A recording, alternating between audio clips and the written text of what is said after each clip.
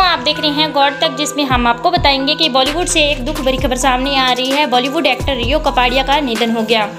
आपको बता दें कि अभिनेता के यूँ अचानक चले जाने से उनके चाहने वालों पर दुखों का पहाड़ टूट गया। है उनके फैंस इस वक्त गहरे सदमे में हैं और बॉलीवुड इंडस्ट्री में इस वक्त शोक की लहर है। हर कोई सदमे में है। आपको बता दें कि रियो कपाड़िया ने आज अंतिम सांस ली। आपको बता दें कि वे कैंसर से जूझ रहे थे। अभिनेता अब हमारे बीच में नहीं रहे, आज उन्होंने आखिरी सांस ली। धन्यवाद दोस्तों इस खबर को लेकर आपका क्या कहना कमेंट में ज़रूर बताएँ।